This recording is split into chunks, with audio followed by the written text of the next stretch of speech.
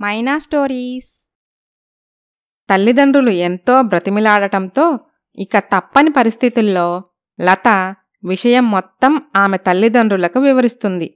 అది విన్న లత తల్లిదండ్రులు నిస్సత్తువగా కుప్పకూలిపోతారు. అమ్మో మళ్ళీ అంత డబ్బు ఎక్కడి నుంచి తీసుకురావాలి? భగవంతుడా ఏంటయ్యా నా కూతురి జీవితం ఇలా చేస్తున్నావు? ఇదిగో మీరిలా బాధపడతారనే నేను చెప్పలేదు. ఇప్పుడెలాగయ్యా? పెద్ద మనుషుల్ని తీసుకెళ్ళి పంచాయతీ పెడదామా? వద్దు లక్ష్మి అలా చేస్తే అమ్మాయి కాపురానికి సమస్య వస్తుంది. పెద్ద మనుషుల్లో పెట్టి వాళ్ళ పరువు తీశామని ఆ కోపం మనసులో పెట్టుకుంటారు. ఆడపిల్లని ఇచ్చిన చోట మనమే ఒక మెట్టు తగ్గుండాలి. కానీ అంత డబ్బు ఇప్పుడు మన దగ్గర ఎక్కడుందయ్యా? నాన్న మీరు బాధపడకండి. నా కోసం అరెకరం పొలం ఉంచారు కదా. దాన్ని అమ్మి ఆ డబ్బు తీసుకెళ్ళి బావగారికి ఇవ్వండి అక్క కంటే నాకు ఏదీ ఎక్కువ కాదు. మగపిల్లాన్ని నేను సంపాదించుకోగలను. కొడుకు మాట విన్న తల్లిదండ్రులు ఎంతో సంతోషిస్తారు. లత కూడా తమ్ముడికి తనపై ఉన్న ప్రేమకు ఎంతో సంతోషిస్తుంది. వద్దు తమ్ముడు ఇప్పటికే నా కోసం మీరంతా ఎంతో చేశారు. నీకోసం ఉంచిన దాన్ని నాకివ్వకు. నేనే దీన్ని ఎలాగోలా పరిష్కరించుకుంటాను. అలా అంటావేంటక్క? నువ్వు బాధపడుతుంటే నేను చూస్తూ ఎలా ఉంటాను? నా గురించి ఆలోచించకు. నాన్న మీరింకేం ఆలోచించకుండా వెంటనే వెళ్ళి ఆ పొలం అమ్మి ఆ డబ్బుని అక్కని తీసుకెళ్ళి బావగారింట్లో వదిలిపెట్టురండి. ఇక వేరే దారి లేక శ్రీనివాసరావు పొలం అమ్మేసి ఆ వచ్చిన డబ్బు తీసుకొని కూతురితో వాళ్ళ ఇంటికి చేరుకుంటాడు. అల్లుడు గారు ఇదిగోండి డబ్బు తీసుకోండి. వ్యాపారం చేసుకోవాలని చెప్పారంట కదా. అమ్మాయి చెప్పింది డబ్బు సర్దుబాటు అయ్యేటప్పటికి కొంచెం లేట్ అయింది క్షమించండి. ఆ డబ్బు చూసి అవినాష్ కాంతమ్మ జగ్గారావు ఎంతో సంతోషపడిపోతారు. అయ్యో నిల్చునే ఉన్నారేంటి మావయ్య గారు? కూర్చోండి. ఆ డబ్బులు ఇలా ఇవ్వండి అన్నయ్య గారు. లక్ష్మీదేవి ఎప్పుడు ఎవరి దగ్గర ఉండాలో వాళ్ళని వెతుక్కుంటూ వచ్చేస్తుంది అంటూ డబ్బు తీసుకుని కళ్ళకద్దుకుంటుంది కాంతమ్మ. అమ్మాయి వెళ్ళి మీ నాన్నగారికి మంచి కాఫీ చేసి తీసురా అలాగే మావయ్య. వద్దమ్మా ఇంక నేను వెళ్తాను. అయ్యో అన్నయ్య గారు అదేంటి? ఇంటికొచ్చి అన్నం తినకుండా వెళ్తారా? కొంచెం పనుందిలే చెల్లమ్మా ఈసారి వచ్చినప్పుడు తింటానులే. అని వెళ్ళిపోతాడు శ్రీనివాసరావు. ఆ తర్వాత అవినాష్ కాంతమ్మ జగ్గారావు ఒకరి తర్వాత మరొకరు డబ్బులు చేతిలోకి తీసుకుంటూ వాటిని చూస్తూ తెగ మురిసిపోతారు. అది చూసి లతకు వాళ్ళంటే అసహ్యం వేస్తుంది. అలా కొద్ది రోజులు బాగానే ఉంటారు. లతను కూడా బాగానే చూసుకుంటారు. ఒకరోజు లత ఇంట్లో పనిచేసుకుంటూ ఉండగా మామ జగ్గారావు లత దగ్గరికి వస్తాడు. అమ్మా లత ఇంట్లో చాకిరంతా నువ్వు ఒక్కదానివే చేస్తున్నావు? కొద్ది రోజులు నువ్వు విశ్రాంతి తీసుకో. ఈ పనులన్నీ మీ అత్తయ్య చేస్తుందిలే. అయ్యో పర్వాలేదులే మావయ్య. అలా కాదమ్మా ఉండు మీ అత్తని పిలుస్తాను. ఏమే ఇలారా ఏంటండి పిలిచారు? పాపం కోడలి పిల్ల ఇంటి పనంతా ఒకటే చేస్తుంది. కాస్త సహాయం చెయ్యి. మనకి లత వల్ల కూతురు లేని లోటు తీరుతుంది. మనం ఏ జన్మలో ఏ పుణ్యం చేసుకున్నామో కూతురు లాంటి కోడలు దొరికింది. అప్పుడే అవినాష్ అక్కడికి వచ్చి అదంతా వింటాడు. మనస్సులో అవినాష్. మా అమ్మా నాన్న నా పెళ్ళాంపై పొగడతల వర్షం కురిపిస్తున్నారు? అంటే వాళ్ళ నాన్న ఇచ్చిన డబ్బు అయిపోయిందన్నమాట.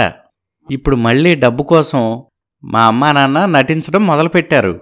నా వంతు పాత్ర నేను కూడా పోషించాలి కదా. అని అనుకుంటాడు. అవునమ్మా లతలా అర్థం చేసుకునే భార్య ఎంతమందికి దొరుకుతుంది? ఇదంతా నా అదృష్టం.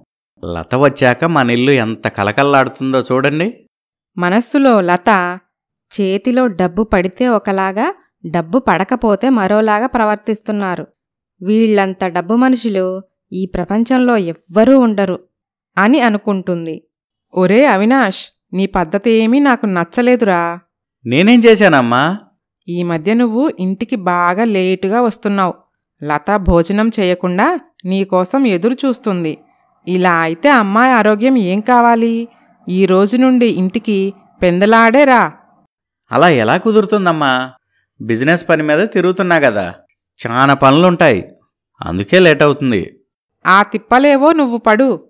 కాని ఈ రోజు నుండి నువ్వు పెందలాడే ఇంటికి రావాలి. అలాగే అమ్మా. అమ్మా లత ఇలా రామ్మా కాసేపు విశ్రాంతి తీసుకో. సరదాగా టీవీ చూడు. ఈ పనులన్నీ నేను చేస్తాగా? అయ్యో వద్దత్తయ్య. పర్వాలేదు. ఇవన్నీ నాకు అలవాటేగా. నేను చేస్తాను. పైగా అత్తచేత కోడలు పని చేయిస్తుందని నలుగురు నాలుగు రకాలుగా అనుకుంటారు. ఈ లోకులు కాకులు ఆ కాకుల గోల మనకెందుకమ్మా?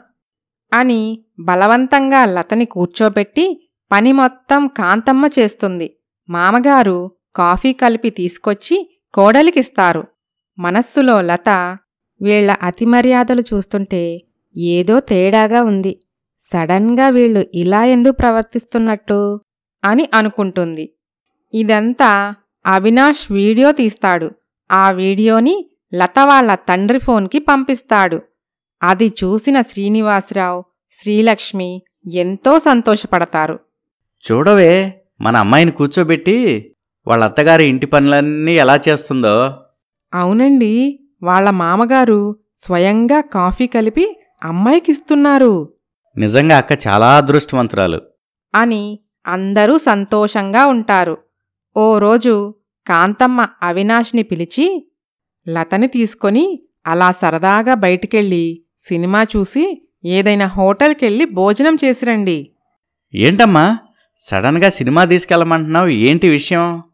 ఈరోజు లత వాళ్ళ నాన్న డబ్బు తీసుకొని ఇంటికి వస్తున్నాడురా. ఆ విషయం నీ పెళ్ళానికి తెలియకూడదు.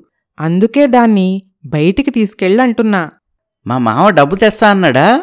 ఎవరికోసం తెస్తాడ్రా? కూతురు కోసం తీసుకురాక చస్తాడా?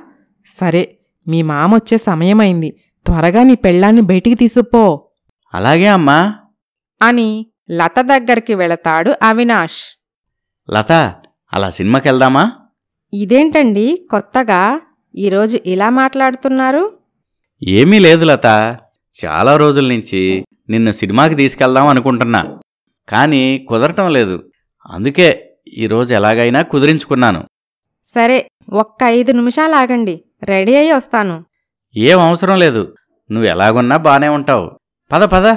సినిమాకి టైం అవుతుంది. అని ఉన్న పళంగా లతని బయటకి తీసుకుని వెళ్ళిపోతాడు.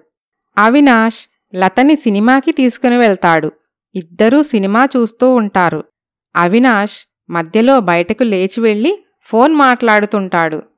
లత తనలో తాను ఈయన వాలకం చూస్తుంటే నాకేదో అనుమానంగా ఉంది. నా దగ్గర ఏదో దాస్తున్నాడు. అదేంటో తెలుసుకోవాలి అని లత అవినాష్ దగ్గరకు వెళ్తుంది. లతను చూసుకోకుండా అవినాష్ ఫోన్లో మాట్లాడుతూ ఉంటాడు. ఆ తర్వాత ఏం జరిగిందో వచ్చే భాగంలో చూద్దాం. Please subscribe Maina stories.